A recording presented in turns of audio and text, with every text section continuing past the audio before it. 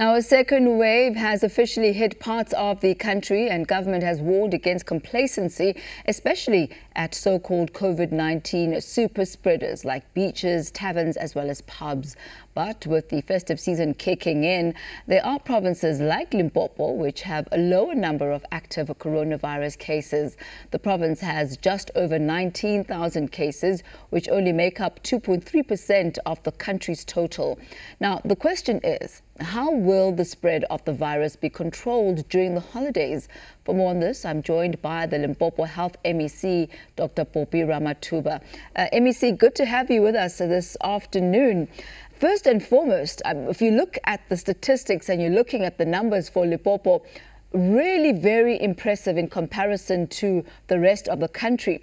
You, in the last 24 hours, uh, reported just 27 uh, new cases. What do you attribute this low number to?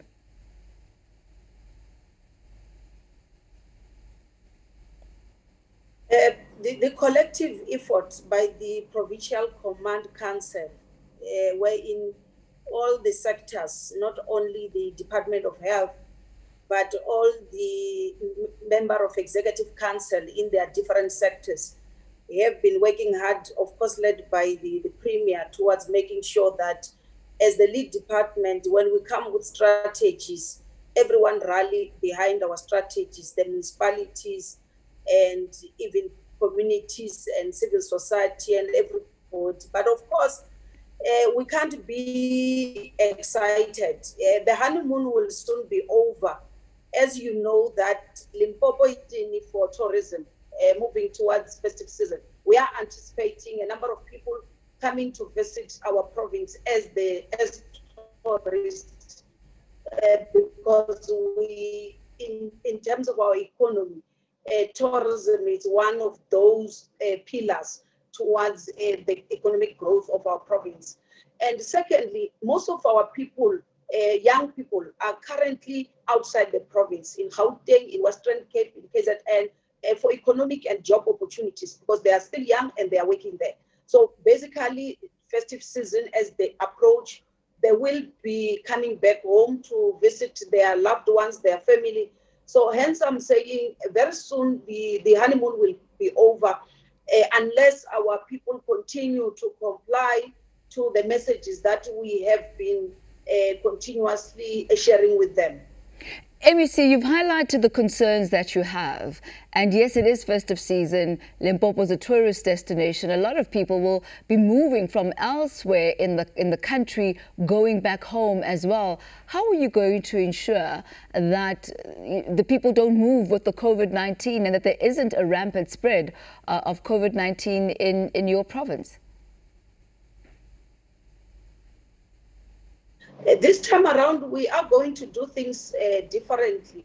Our main focus is it's currently empowering the, the villagers themselves, people in the deep rural areas, to make sure that they protect themselves. Uh, this time around, we are saying we can't stop people from moving from uh, Gauteng or from Eastern Cape to come to the province. We will, however, working with the Department of Community Safety, will be busy on different roadblocks not just checking for your car's roadworthy, but as a health, we will be screening you also not only for COVID, but even for other comorbidities, your diabetes, your hypertension. We'll be doing that in our different roads. We've already started that work. You will see us on different, especially the main roads. We will continue to, to do that work. And secondly, besides being on the road and our visibilities as health officials, we will we are currently through our community health care uh, workers and, and our response team comprising of nurses and pro, uh, professional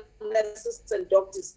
We're doing what we call door to door, wherein we are empowering our senior citizens, those who are vulnerable, to say, when your child come back from a work in Gauteng, don't be too excited and give her or him a hug and be excited uh, to say they're back and also, as young people who are coming to visit our mother in law, let's not be too complacent, too excited to say, I want to prepare the meals.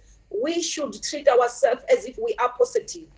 And we should make sure that we are wearing masks at all time when we come closer to this, uh, uh, those who have been remaining in those villages. We must make sure we wash our hands with water and soap before we even serve them that food. And we must serve them food wearing those masks. So we are teaching our senior citizens. And I'm glad that elderly people, when you go around funerals and you go around social uh, family gatherings, they are very strict to say, we've had uh, the MEC says, don't come closer to me without wearing a mask, even if you are my grandchild, even if you are my son. At least after 10 days, you would have been with me, and then I can come closer to you. We just have to sacrifice for the sake of us to see each other come January. So that is the work that we are currently doing as a province so, to make uh, sure Dr. that we prevent uh, the, the spread because truly well, thank you very much, um, MEC Dr. Phophi Ramathuba. There's certainly a lot of education that has gone into ensuring that